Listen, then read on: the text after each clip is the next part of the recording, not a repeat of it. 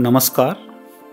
आध्यात्मिक ज्ञान को सरल और रोचक तरीके से जन सामान्य तक पहुँचाने का कार्य नीति कथाओं द्वारा बहुत सरलता से होता रहा है। प्रत्येक नीति कथा सत्य की ओर चलने की शिक्षा देती है। आध्यात्मिकता के गूढ़ विषयों को नीति कथाओं द्वारा बहुत सरलता से समझा जा सकता है। स्वामी राम तीर्थ जी की नीति कथाओं की श्रृंखला में आज आप जो नीति कथा सुनेंगे, उसका शीर्षक है त्याग का यथार्थ मार्ग, एक वृद्ध महिला द्वारा गृहस्थ जीवन त्यागने की अभिलाषा।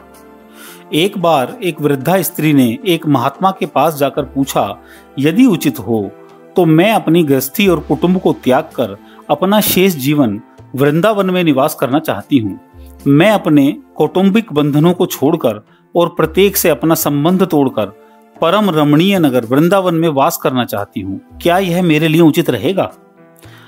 स्त्री के साथ एक शिशु भी था, जो उसका पौत्र था। महात्मा ने उत्तर दिया, आप जरा इस शिशु पर ध्यान दें, जरा विचार करें, इस छोटे शिशु के नेत्रों से होकर तुम्हारी ओर कौन देख रहा है? इस बालक के शरीर में कौन सी शक्ति, कौन सी चेतना तथा कौन सी प्रभुता है, जो इसके रोम रोम से तुम्हारी ओर देख रही है? स्त्री ने उत्तर दिया, यह तो अवश्य ईश्वर ही होंगे।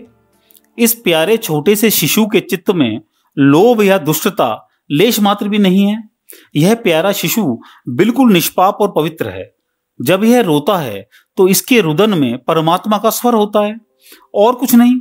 फिर महात्मा ने कहा, जब तुम वृंदावन जाओगी, तब तुम्हें भगवान कृष्ण की एक मूर्ति में लगन लगानी होगी। भगवान की उस प्रतिमा में तुम्हें भगवान को पूजना होगा।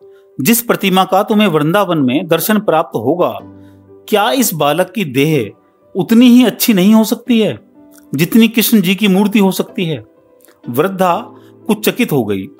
कुछ विचार और मनन करने के बाद वह इस परिणाम पर पहुँची कि बिना किसी समस्या के इस बालक को कृष्ण जी का अवतार मानकर मैं उसके शरीर द्वारा भगवान कृष्ण की पूजा कर सकती हूँ, क्योंकि ईश्वर ही वह है जो उस बालक के नेत्रों में से देखता है।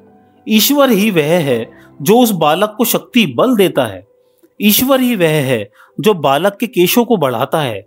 ईश्वर ही वह है जो उस बालक के शरीर के प्रत्येक रोम में से प्यार करता है। यह बालक स्वयं प्रभु का रूप है।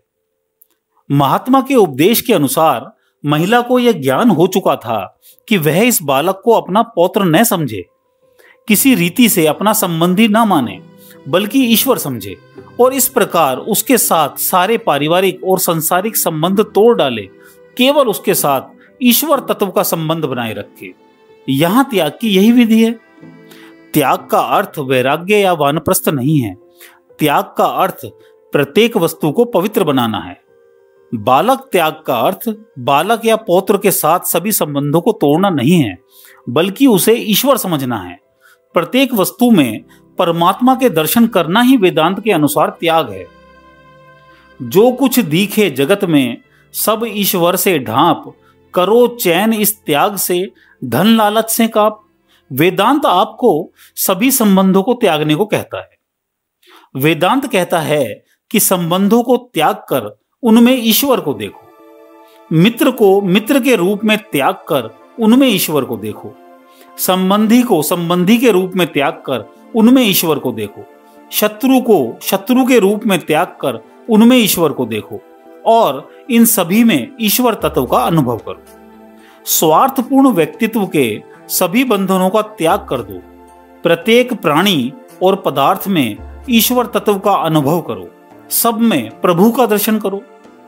इस कहानी से हमें यह शिक्षा मिलती है कि त्याग का सही मार्ग यही है कि वस्तुओं संबंधों को छोड़ देने के बजाय उनमें आसक्ति अथवा मोह का त्याग किया जाए और उन सब में ईश्वर के दर्शन किए जाए।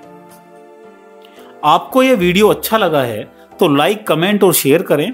चैनल को सब्सक्राइब करके बेल आइकन को भी दबाएँ। धन्यवाद।